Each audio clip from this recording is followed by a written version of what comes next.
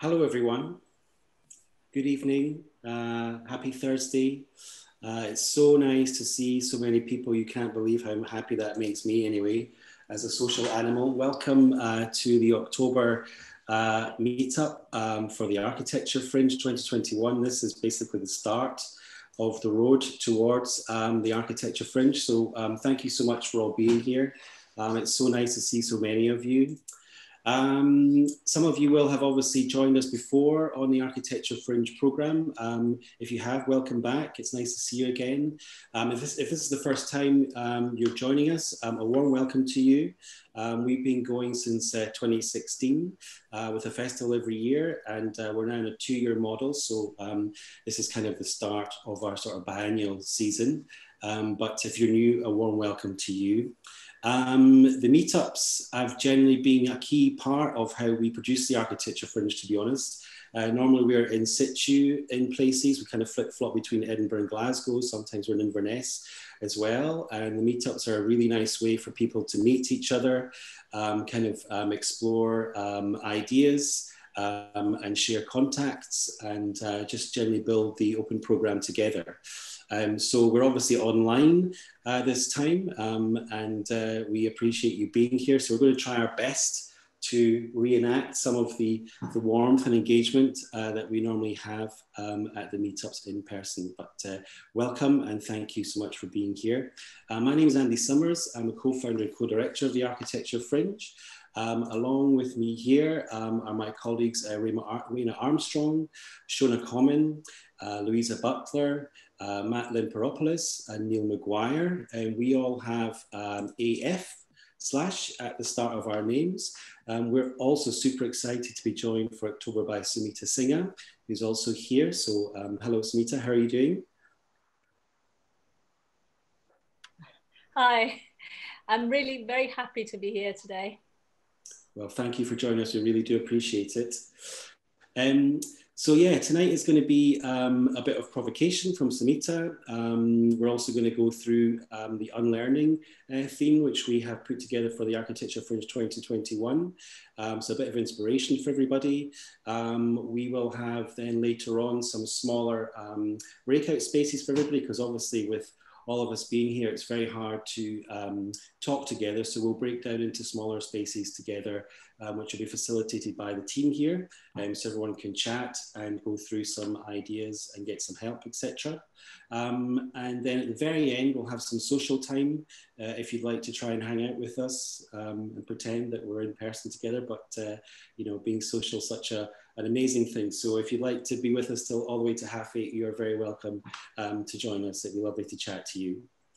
Um, now, uh, what we're going to do um, at the meetups normally, um, we normally do a little uh, few minutes where everyone basically introduces themselves to someone they don't know. And I know we might have all lost our social skills in the past nine months, myself included, um, but we're going to break out into little random spaces just for about three minutes um, each, uh, three minutes overall. And uh, we're just going to introduce ourselves to some other people who are here and have a quick chat, and then we'll all come back and reconvene. So I think Rena's going to do that.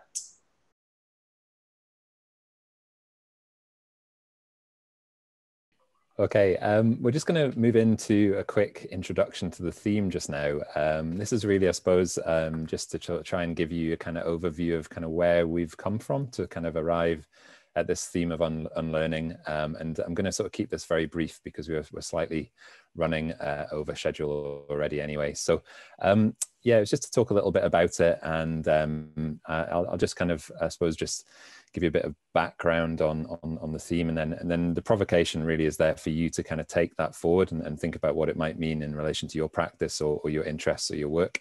So um, it's rapidly transformed from an observation to a truism to a cliche but we are if you didn't already know living in unprecedented times. Um, the intersection of a global viral pandemic and a climate emergency against a backdrop of extractive and exploitative neoliberal capitalism means the ground on which we're standing is moving fast or hopefully moving fast. Change is happening. Um, and in order to make that change positive and transformative, what fundamentals do we need to question and what learning, new learning do we need to undertake? So that gives you a kind of a, a kind of a slight sort of insight into, into where the provocation from came from. And in terms of a kind of a provocation to us, I think it's also important at this point, I suppose, to acknowledge that the phrase unlearning or that kind of terminology um, came to our attention predominantly, I think, through the kind of Black Lives uh, Matter protests that happened uh, earlier on in the year as well. And I think to kind of acknowledge that um, is important and also to say that I suppose it taps in for us uh, into that idea that um, uh, it is is possible to kind of question and to analyze and think about and maybe try and dismantle as well some of the underlying orthodoxies that kind of dictate how we work, how um, we think about space and place and people's place within that as well. So um, that sort of, I suppose, describes a little bit about the background um, uh, to, to, where we've kind of come from. We're really delighted to have um, Sumita with us this evening, and she's going to talk. We're going to try at these meetups to try and um, invite a guest um, to offer their particular take on this topic or, or, or a reflection um, as to how it might relate to their work or their interests. And um, really looking forward to hearing that talk uh, in just a moment. So I was just going to end with a, with a quote um, from the Brazilian um, scholar and academic Paulo Freire. Um, and it says it's imperative that we maintain hope even when the harshness of reality may suggest the opposite. So, in many ways, this year's provocation is about breaking down, but also about building up again and building back um, and thinking about how we kind of reconstruct uh, the ways in which we, we operate and work. And I think Architecture Fringe, we hope anyway, provides people with a sort of playground to test out and experiment with ideas. Um, take take uh, take forward projects that might find it might be difficult to kind of pursue in other environments and kind of give them a public as well and try and engage with the public uh, uh, about architecture's role uh, in in the public realm and in public life more generally so uh, I'll just finish there and I don't want to kind of go on too long about it but um, as they were really interested to hear what people's um, responses are to the theme and uh, hopefully in the breakout sessions later on it's a chance for you all to to uh, articulate maybe some of your ideas and thoughts and hear about what other people uh, are interested in, in, in looking into as well. Um, we're really keen those breakouts become a point where you can kind of make contact as well with people who are maybe pursuing similar issues or have similar interests and maybe some kind of collaborations can kind of come out of that as well. So um, there's additional information about the theme on, on the Architecture Fringe website, architecturefringe.com, if you want to find out more. And as I say, hopefully these discussions will evolve as the meetups uh, continue. So I'm going to hand you over to Shona now, who's going to in, introduce uh, tonight's speaker. Thank you. Uh, so we're delighted to have Sumita Singha joining us this evening to deliver the first short provocation in reference to the Architecture Fringe 2021 theme of unlearning. Tonight she will be delivering a short presentation with the title Climate, Colonialism and Context.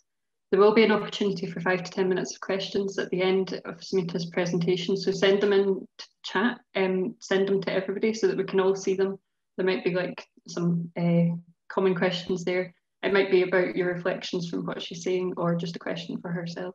Um, and we would invite you to ask the question at the end, so I'll just pick out some from, from that chat function. Um, Sumita is an award-winning architect, academic, author with her own design practice, EcoLogic, which has worked internationally. Sumita's successful career started early with a UIA UNESCO International Design Award for her thesis, on the back of which she received a Cambridge University Scholarship in Sustainable Design. Her other awards include the Women in Business Award at the House of Commons and Atkins Inspire Award for Architecture. Sumita set up Architects for Change, the Equality Forum at the Royal Institute of British Architects, and is past chair of Women in Architecture. She was elected to the RIBA Council, has served on many RIBA committees over the past 25 years, and this year, as I'm sure many of you know, she ran in the election for president of the Institute. Sumita has taught architecture in the UK and abroad. Presently, she is a tutor in professional practice at the University of Westminster. She is the founding director of Charushila, an international design charity for community projects.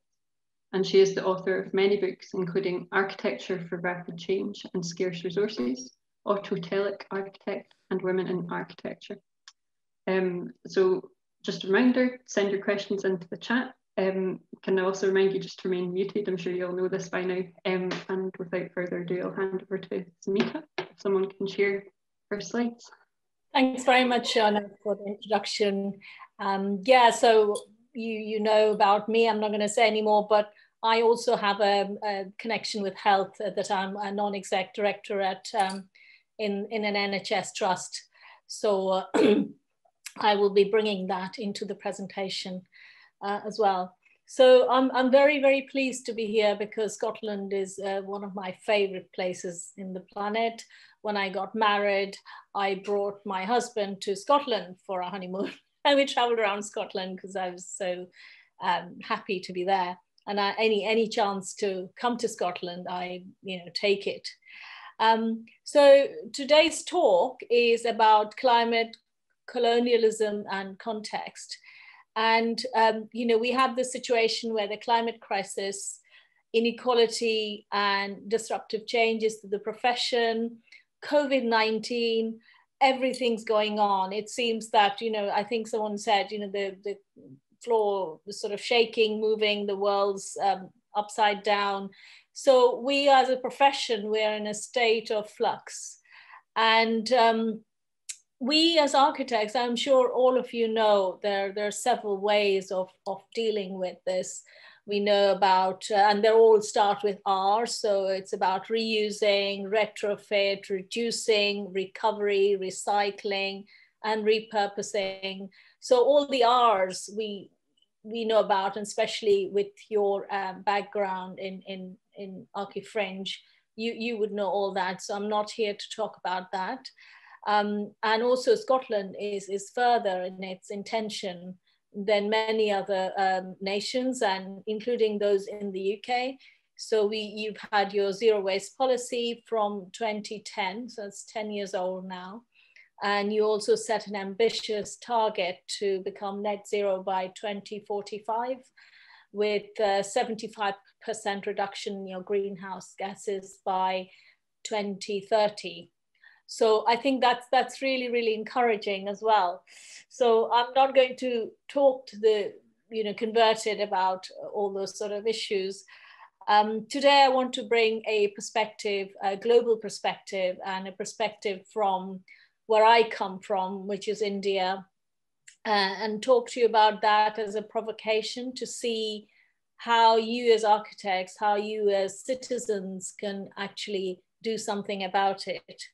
Um, so I want to propose that um, that uh, from colonized nations and uh, those who uh, they have uh, issues still arising from being colonized.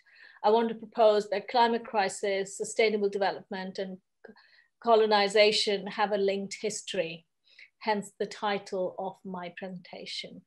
Um, so also you'll see hopefully the provocation will lead you on to group discussions where you can see there could be multiple uh, ways of dealing with the situation uh, and uh, the problems and solutions might be perceived differently uh, by different people.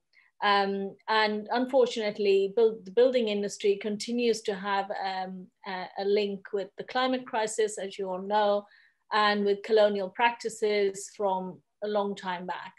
So um, I'm going to start with the first slide, please.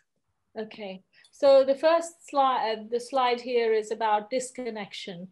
And, and you know this, the fact that where things are being produced is so disconnected from the user.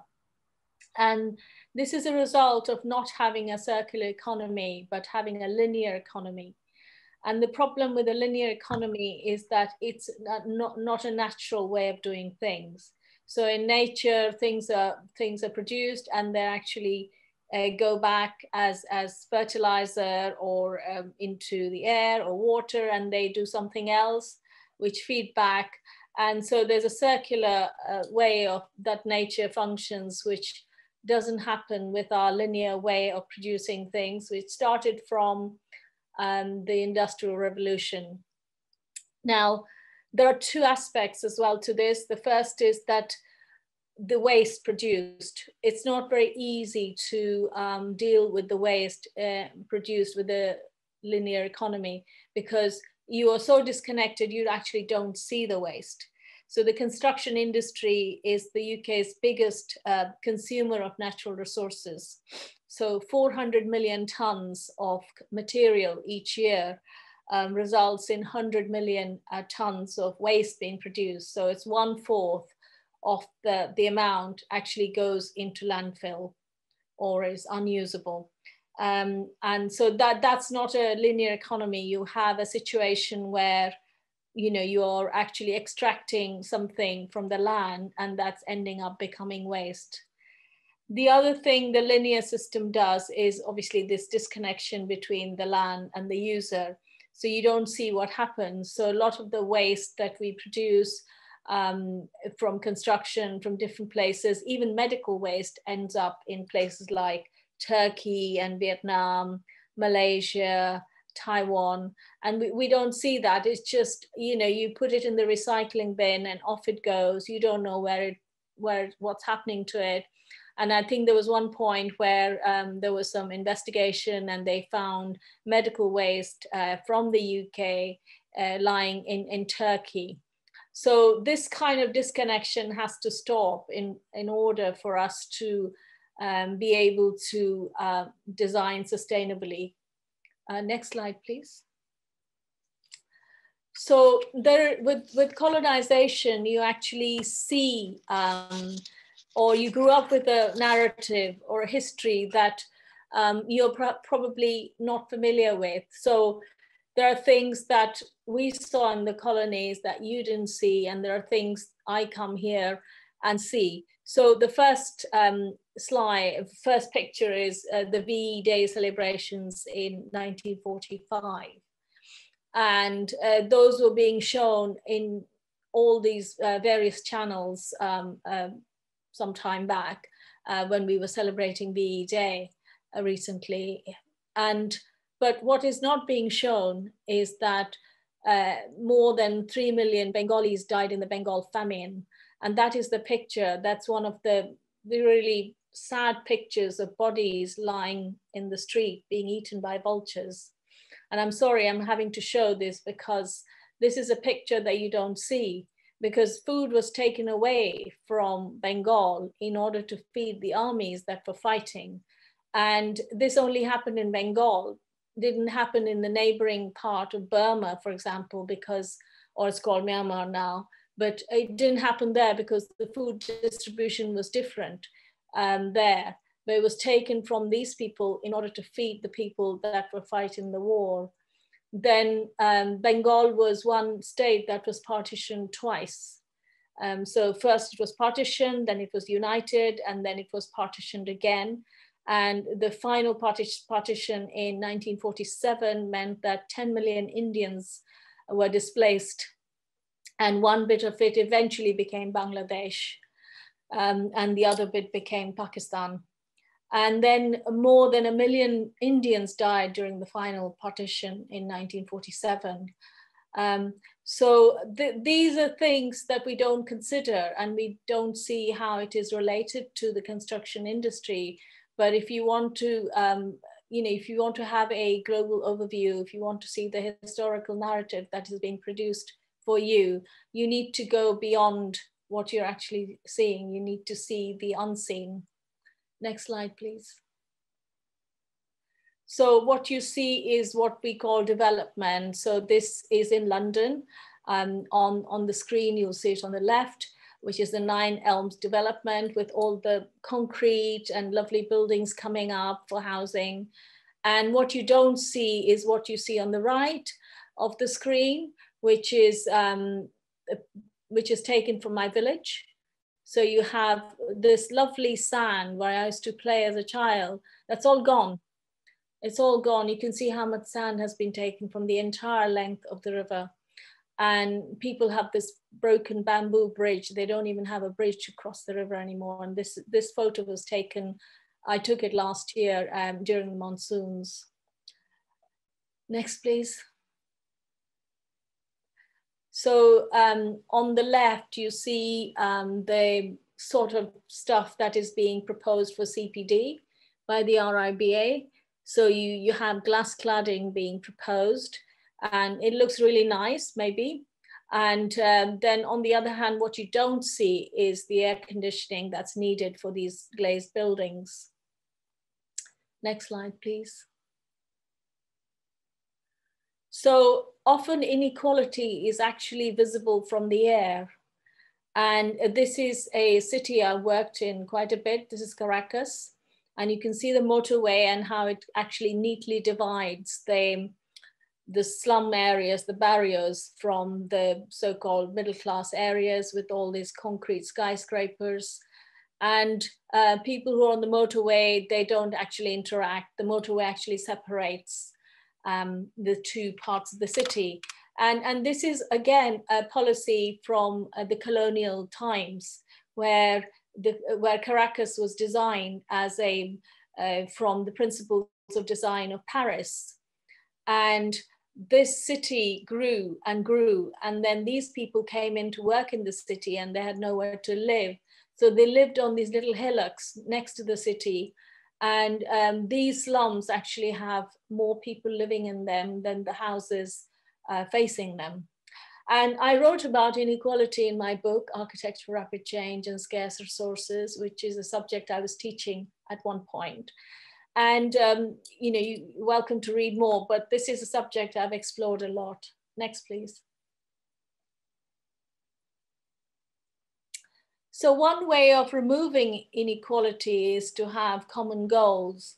And the, these were the Sustainable Development Goals um, produced by the United Nations. And they were also produced in 2010. And there are 17 of these. So um, the, the, you can see that some of them perhaps on um, reading that doesn't relate to architecture. So for example, one um, to maybe hunger, they have no connection with architecture. But um, my provocation is that they do have a connection with architecture and design, is how we design cities. Um, are we providing good health? Are we providing areas where people can grow stuff? Are we um, you know, designing areas so that everyone lives um, in clean and pollution-free environment? Um, and so I was a bit disappointed that uh, the RIBA Sustainable Outcomes Guide, which was produced in 2019, uh, does not include eight of these 17 goals. So they've um, taken out one, two, four, five. Uh, I don't know how they took out gender equality, but they did. Um, and they taken out 10 and uh, 14, 16, and 17 and and i think partnership working and engagement with people is so important. Um, and again 16 peace is so important for building cities that i again you know a lot of this is all related. And one of the issues with um, one of the things i do with healthcare is to try and relate sustainable development goals with the world health organization's constitution um, so they've, um, the World Health Organization says that it's the state's duty to provide, the, provide for the underlying determinants of health, such as clean water, sanitation, food, housing, and health-related information, education, and gender equality. So it, healthcare is not just about provision of hospitals, equipment, medical, medicine, medical staff, but it's linked to the design of cities so in some ways, what I'm saying, another provocation is that all architects are actually designing healthcare into whatever they design. Whenever you're thinking about sustainable um, living, sustainable design, you're also thinking about healthy cities.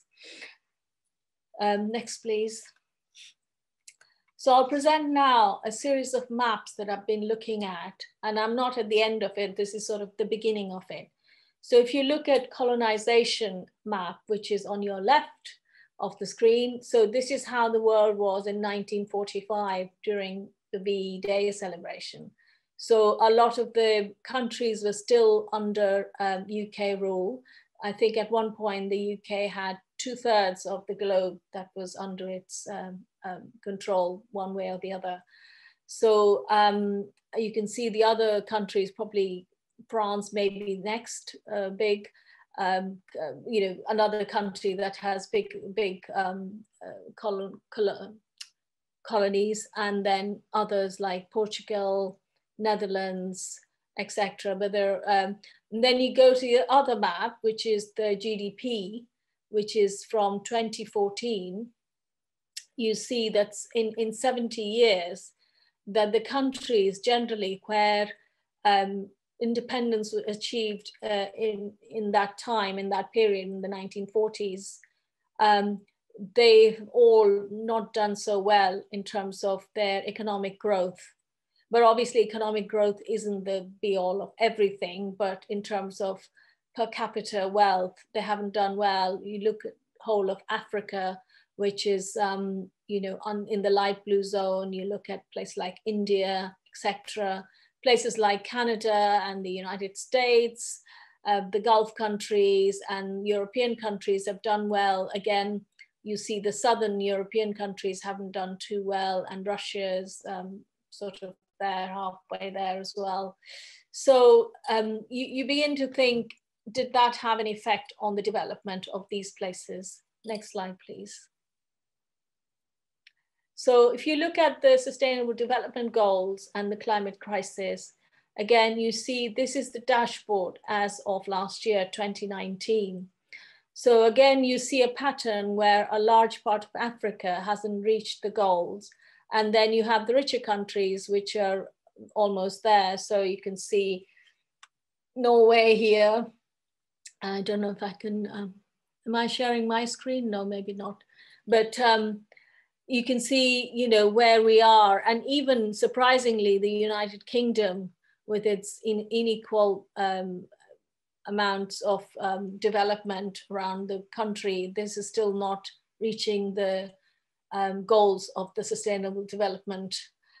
And um, the other thing you don't see on the map is obviously within countries. So you have places like Brazil and Australia, which have eh, internal inequalities.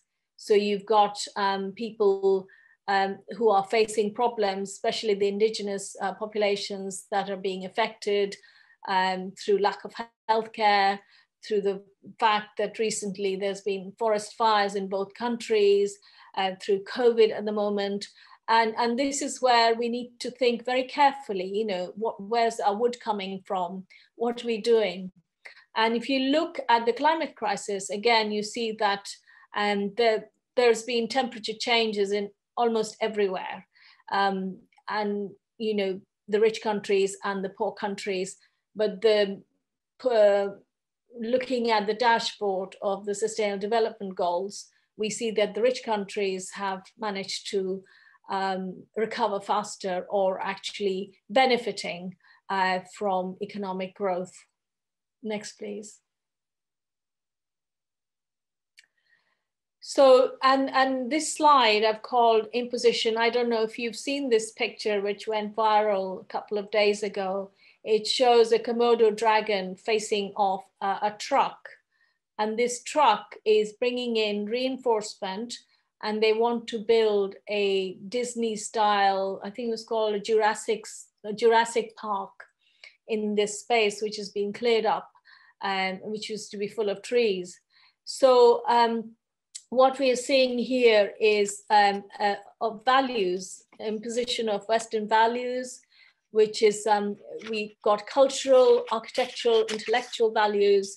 So um, I was watching this um, um, class, which uh, which was um, this this university, which was looking at what were they looking at? Oh, how Western narrative uh, and, and they were looking at looking to explore non-Eurocentric narratives in the study of architecture. But they used European examples and the canon to explain the context. So again, all our values, architectural as well as intellectual values are coming from the West.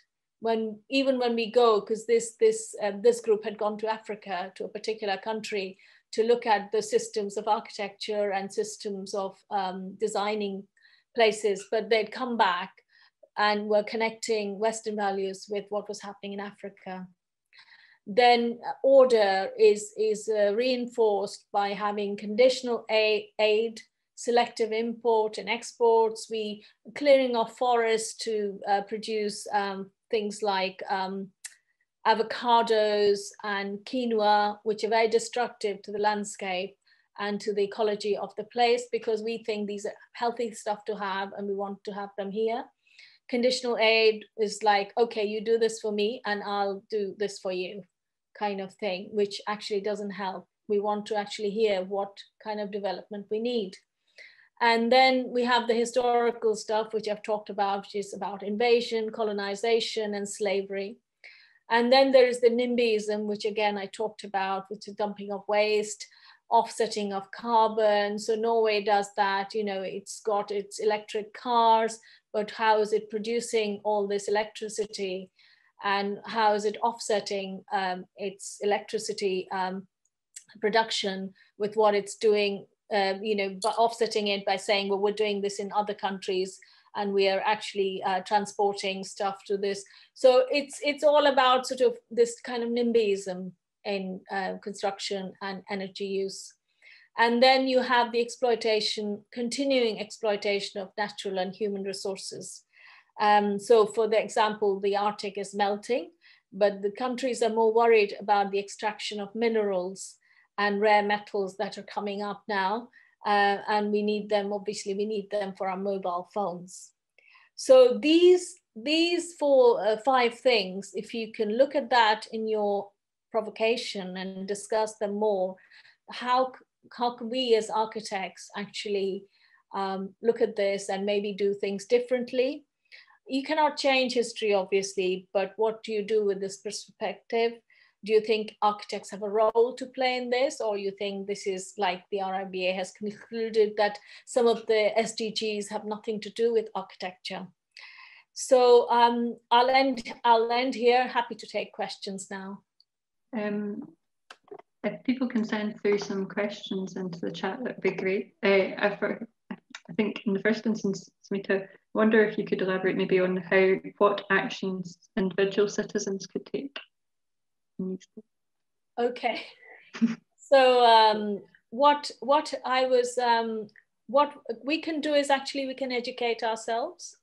So the things we don't know about, we need to know about those and look at it more deeply and actually look at where everything is being produced so for example, with plywood production, a lot of the um, plywood comes from China, but the plywood is actually being manufactured in China. It's not, so the wood is coming from elsewhere into China and put together as plywood and then being exported to European countries.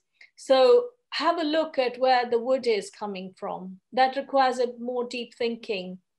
And if we're not thinking deeply about these issues, we are going to come up, come up against barriers about um, you know how we can actually change the situation.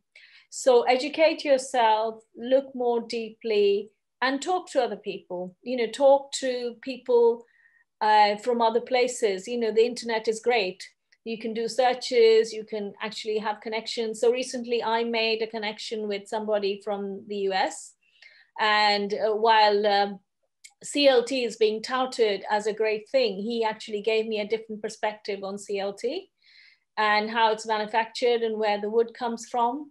So I now have a different view. I have more knowledge about CLT. So I might not be using it for everything. I might use it for some things, but not everything. So those three things can be done quite easily. That's. Um, we have a question from Andrew Campbell. I don't know if you want to ask it yourself, if you want to unmute. Just a pretty basic question, but how do we preach to the unconverted? Um, yeah, I, I, that's a great question. You know, how do we preach to the unconverted or to the people who are not part of unlearning or unfringing or whatever? so um, I think we I think you have a very strong voice, and particularly, you know, the younger people have a very strong voice. So I think we need to use that voice and say, hang on, we need to do the things differently. And that's why this uh, presentation from the School of Architecture actually was very disappointing. The fact that they'd gone to Africa, um, actually seen what was happening, and they were coming back and discussing this uh, in, in a, as if they'd never been to Africa. So um, I think we need, we need to talk more. We need to have dialogue and discussion about it. So that's how we preach. Um, I think I can read this. Um, Sunita, do you want to ask the question yourself?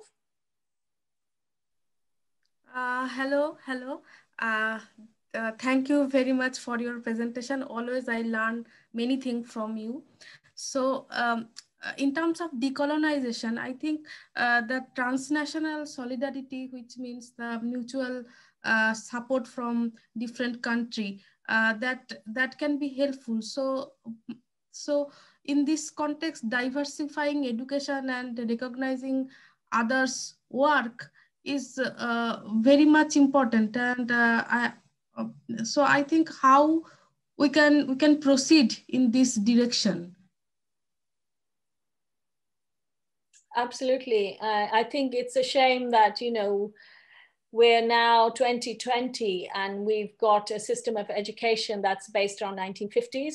And in fact, you know, the RIBA is called uh, British, um, British Architects, you know, it's got that in it. And actually we're far more international. The RIBA has got like um, architects from 115 countries and we don't acknowledge that. We don't actually have, we have a great diversity of uh, membership and we don't learn from each other. So um, one of the things I said during my campaign was to have a digital platform where we're actually communicating and learning from each other. And I, I think we, we need to have that diversity in um, learning and um, in, in and, and that's going to also help with creativity because the more diverse yes. we are, we're more uh, creative as well. So, and, and architectural education definitely has to change. Thank you. uh, I just wanted to add towards uh, Sumita, you just said. So I came from India and I found it very difficult. You know, I had to register for part one, part two, part three to be called an architect. And when I spoke to my head of the department in back in India, that why don't you have an affiliation with RIBA, and why don't you have a recognition? This was his plain and simple answer. I say, he, they said that why do we need RIBA to recognize us because they don't even have a you know they're the british architects. So the hmm. name itself isolates us. Hmm. So we will never approach so and, and we when come here we have to struggle for recognition. So even if even if i want to appear for say two exams or three exam in a row that is not possible. I need to appear for part one part two and part three. So there are there are many many inclusion issues and seriously i don't feel part of it because i'm not a member. And and most of the time i also found it very funny because riba is running events and in which architects are telling architects how to do architecture. And why would you charge your own members a ticket for that event when they have already paid you membership fees? And on the other side it, it is just a zoom one hour chat, a presentation. So architects teaching architects and they're paying for it. It's absolutely, I don't understand. It doesn't make sense to me. So how we, when, why will we not change and when will we change? So even if your very important message, it has come through architecture fringe and that is that is one such a nice voice. I've been following it for last four, five years now. This is such an open platform where you could actually come and talk about it and receive. So thank you very much, Architecture Fringe. Thank you. Thank you. I, I don't know who you are, but thank you very much for your. No, no. Uh, uh, my name is Akash. Oh, oh, sorry. My camera is off. Sorry. Yeah. I'm Akash. sorry. I didn't thank realize. You. Thank yeah. you for that. Um, yeah, so I, I think uh, when I came from India, the School of Architecture was actually RIBA validated. But um, so that's why I did my part one and part two in India and then came here and I could do my part three here. But unfortunately, um, no school in India is affiliated with the RIBA anymore. And I, I, think people want to do their own thing. And unless the syllabus is changed, which actually appeals to all these 115 countries, or countries become like a federation, they have their own rules. This, this is not going to change. But uh, anyway, I'm not here to discuss RIBA yes, policy. That's fine. So, that's fine. uh, but this is my personal feeling. So this is a personal opinion. So please um, don't quote me on it. No, no. Um, I'm afraid I'm going to have to uh, interject, and we'll uh, there'll be opportunity at the end with a social if we want to discuss some of the things that have come up because there's some really interesting questions going on in the chat. Um, but I think we need to move now to the breakout rooms where we can also discuss our ideas for for the fringe together. Um, so I think I'm going to pass over to Raina and Matt. But thank you again, Sumita. It was really, really great talk. Um, and I think it's inspired everyone that's been here with us tonight. So thanks. Um, we'll hopefully catch up and in a more social sense at the end. But I know a lot of you are here to talk about your events and get some feedback and ideas. And so I think most of you may have, or some of you may have selected been asked at least when you registered for what you want to speak about and you've selected something. I've tried to follow that and I've assigned specific breakout rooms based on the topics you had an interest in, but you feel free to move around. You should be able to. I think I fixed that. So um, yeah, I'm going to start them just now and uh, there should be at least one fringe member in there to take questions, but basically feel free to chat with each other and hash ideas.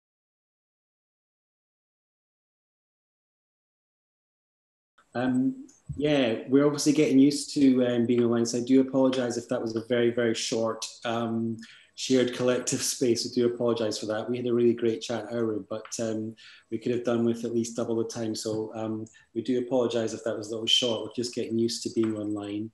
But we did have lots to say, which was amazing. And uh, we just thought the team would just very quickly just summarise maybe um, some of the thoughts in each of the rooms so everyone can hear about maybe what was going on, if that's still okay. Um, Neil, would you like to go first? Um, not really, but I will. Uh, and so, uh, yeah, we had a really nice chat. There, there were people coming um, with, I guess, some people had questions, other people had kind of potential project ideas. Um, what was nice was that some people were maybe coming with spaces that they had or, or worked with. Um, other people were maybe coming with um, kind of kind of project ideas. Uh, in terms of specific kind of project ideas, there was um, one around the idea of trying to make visible the unseen, and I think this connects maybe to a, question that Morag had put in the question uh, chat before. Um, so around a, a, lot of sometimes I guess these these issues are to do with things that are unseen and how as architects could we help uh, make visible um, things that are maybe maybe not completely invisible, but just are not misunderstood or, or, or, or not seen. And I apologize to Andy Campbell for possibly misrepresenting his idea, but it was illustrated with a, a pirated David Shrigley drawing and uh, look forward to seeing that diagram again, a sort of mashup of David Shrigley, Vitruvian Man and Le Modulor as well. So if you can imagine that, you can just all imagine that in your minds. That's me over and out. Thank you. Thank you. Louisa, would you like to um, let us know how you got on? Yeah, we um, kind of have a bit focused um, discussion about different projects. And um, we had Evie talking about how she um, and a couple of other people in different rooms had been in touch with community gardens in Glasgow about potentially um, erecting some kind of temporary outdoor structure in these gardens. So sounds like something an idea that the fringe definitely keeps coming back to. Uh, so maybe it's time to figure that one out. But um, and then we had uh, just, I mean, introductions from people wanting to get involved. Um, Ninian Stewart, who was um, has a really interesting um, project called A Thousand Huts, and I'm not really sure if I fully understand it, but it seems like you're um, kind of building little huts around Scotland or getting them. So that fits in quite well with uh, Evie's project. So, I mean, there's just a bunch of connections we could kind of um, get going, and people have started to chat as well and know each other's faces. So that's good. Yeah, Thousand Huts campaign has uh, been on for a few years, I think, from my own memory. It's a really wonderful push for um, us to be out in the landscape more. Um, Shona, would you like to let us know how your group got on?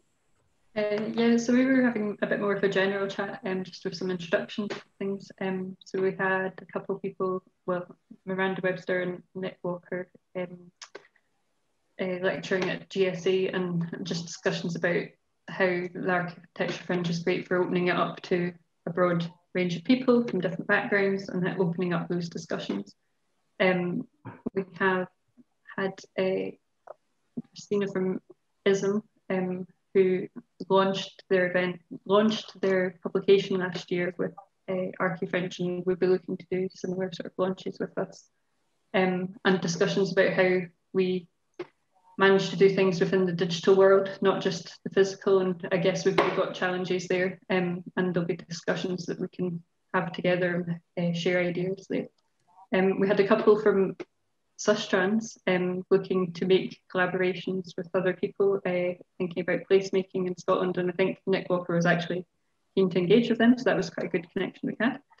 Um, we did also have Morag Bean, um, who uh, Neil had picked up on there, and uh, she was very inspired by the talk that we had um, this evening, um, and just thinking how we unlearn through uh, showing the unseen.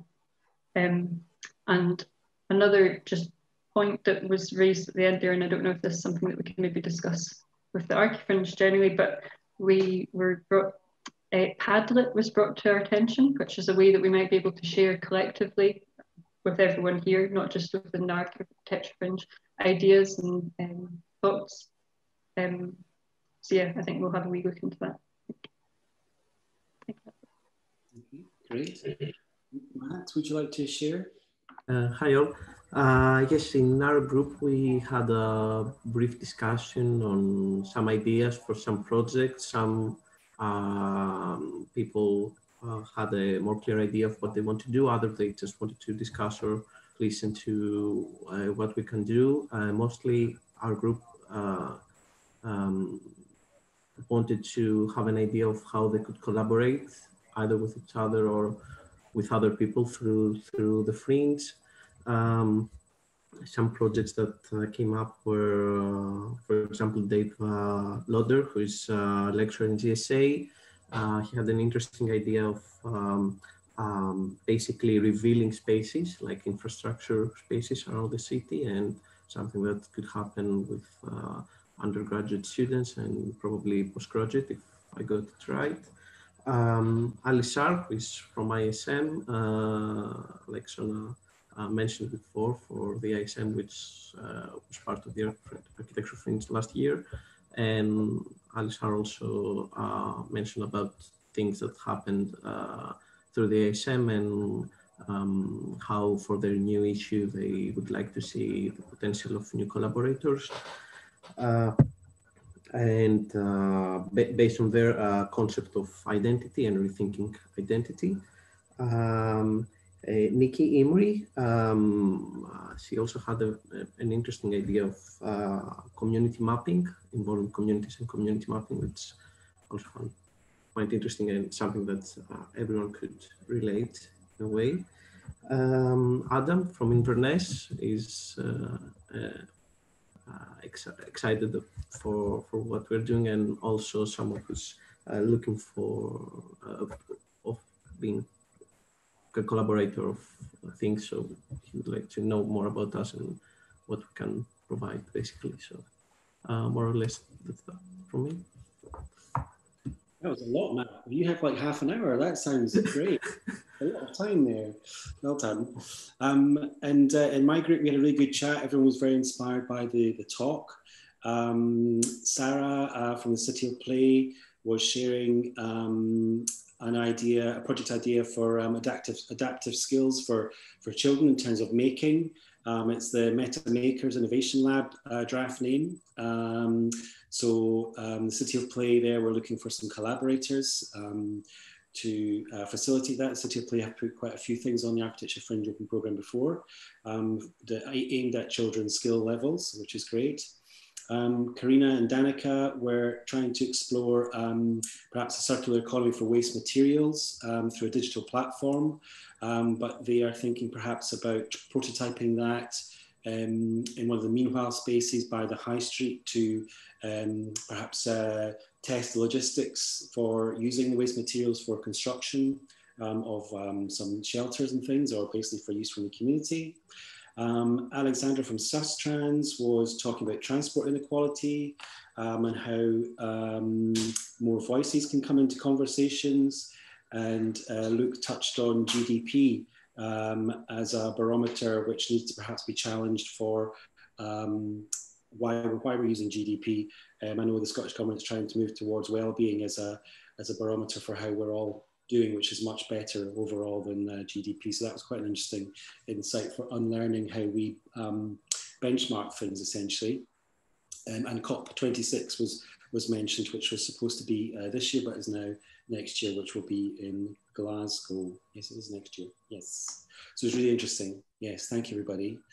Um, so as suggested, I so I said we, we do realise that was quite short, um, but we do appreciate everyone sharing ideas.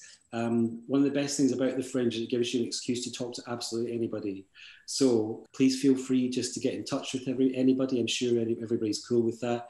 If you'd like to pick up with them, um, we'll be we're here for the next five months um, in November, January, February, and March. So there's time to come back and we do this all again. But um, this is our first test run. And um, we've also got a little survey that we'll share. I, I've noticed a couple of people have had to leave, so we'll probably just send it out through Eventbrite. Um, just to ask what your project is, and and then as Shona brought up, I think Padlet We'll look into basically some some tool where we can post these up, and so you can maybe try and interact and find a project that you find interesting, and maybe you want to collaborate on or just bounce ideas off of each other. Yes, I mean, since we started in um, developing the Fringe 2050, we've been hyper aware trying to have some form of collaborative platform where you don't need us basically to meet other collaborators. So we um, we're obviously still all volunteers here um, and looking for some structural funding still, but we'll try our best to try and set something up where um, you can basically um, signpost that you're looking for some help or a venue or a collaborator um, or a funding stream, um, and uh, we'll try and help you as best as we can. Um, so, I mean, um, yes, does anybody have any thoughts or reflections? Please just feel free to to say it. Um, I know it's quite a big ask when there's 41 people, but um, if anybody's had anything to say, please feel free to. I'll, I'll jump in, seeing as nobody else is. I just like just to say it's a great, really fantastic uh, um, theme this year, really inspiring. And uh, just, I suppose, from reading the text uh, or the, the sort of provocation uh, that's been put out, there's obviously a lot of kind of references there to mention Paulo Freire and I'm sure there's some Naomi Klein in there and some other uh, some other people and just whether would it be an idea to kind of make explicit um, those kind of references to start a spark or inspire other ideas um, to, to kind of come forward. Um, yeah, I don't know, just a, a small point, but maybe uh, um, just kind of get a bit of a reading list together, maybe as well. Uh, so it could be could be could be a nice thing. Thank you for that.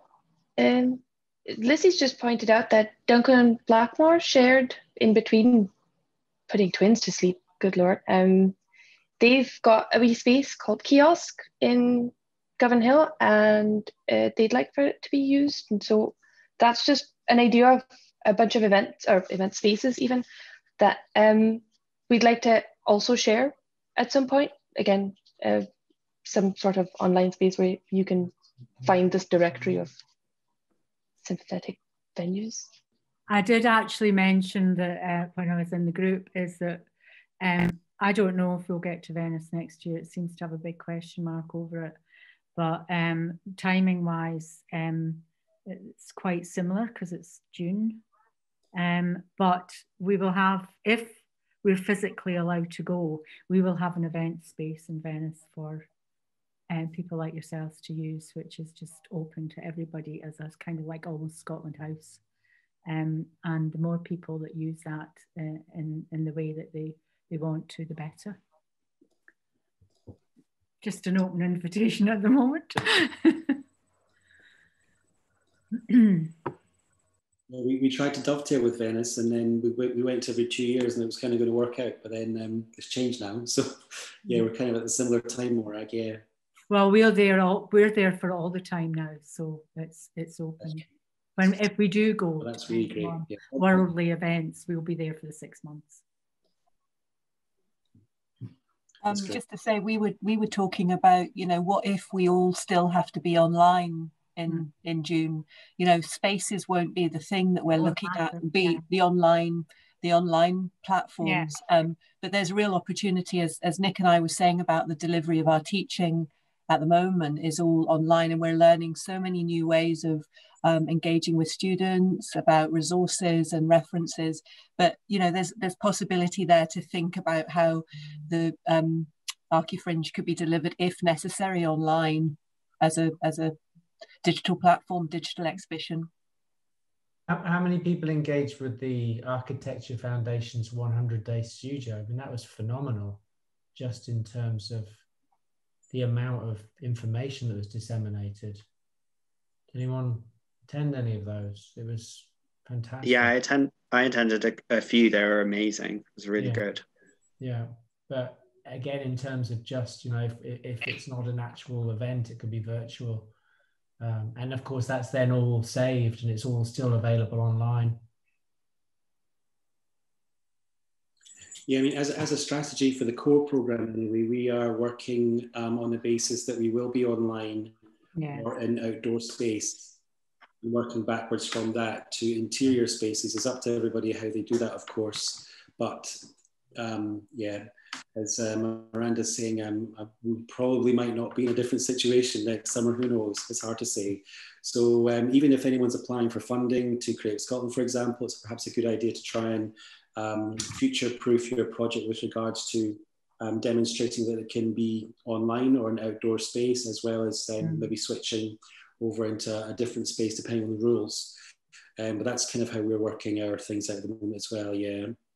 Okay, um, and just to clarify, if, if people are new who haven't used the Architecture Fringe open platform before, and it's completely free um, to participate and um, place work onto the platform. Um, we don't charge you. Um, how you manage and run your own events with regards to charging for tickets is entirely up to you. But to access the platform, it's entirely free. Um, the production team here does not gatekeep or curate your content either.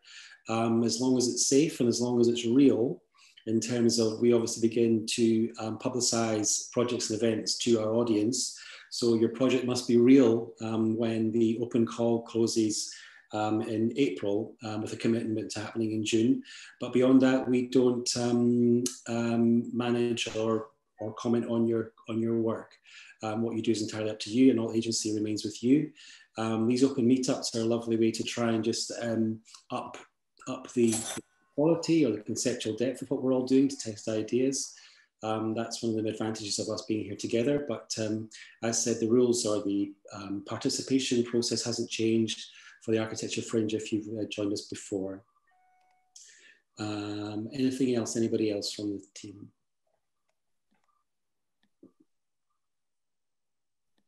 No, I mean, just I think other than to say, yeah, thank you everyone for coming um, this evening. It's really nice to see so many faces, um, some uh, people who we've worked with in the past and some new faces as well. So um, yeah, please do sort of tell and invite other people to, to come along to the next meetup. We're going to try and run these on a sort of monthly basis so yeah, we just wanted to find out tonight a little bit about when suits people best, and then once we we've sort of got the survey results now, so we can kind of come out with uh, some dates for November uh, and uh, into the future as well. So uh, keep an eye out on the mailing list um, if you don't already subscribe to the um, to the Architecture Fringe mailing list. Then if you go to architecturefringe.com, you can uh, sign up for the for the mail outs, and that's the best way of keeping in touch as well as through social media. Um, and yeah, uh, thank you again, everyone, for coming. Thanks to uh, Sumita for a talk tonight and for really sort of kicking things off as well. Uh, and, and, it was some really thought, thought-provoking ideas. Um, I don't know if anyone can hear, but uh, dinner is being prepared behind me, behind this uh, this uh, this sort of lava lamp gradient, but um, it's, it, that is actually happening. And I think I'm getting pressured to uh, to, to, sign off. Andy, can I just ask quickly, is uh, Sumita's presentation going to be available? Uh, we, we did record it, yes. So we will um, edit this um, because um, yeah, we've recorded since we've been online since half past six, and you don't want to hear okay, any of that. Great. So uh, we will edit it, and it will be on our YouTube channel. Yes. Thank you. That's all right, and please do subscribe to our If you like. That'd be amazing. Yeah. Uh, yes, thank you all so much. It's honestly been so great to see everybody. Um, stay safe. Um, as Neil said, we'll be back next month um, with another guest speaker and we'll be sharing a date for that soon. But as, as said, um, please just make contact with anybody and we will share contact details with you all back through Eventbrite. Um, but yeah, thank you so much and have a lovely evening.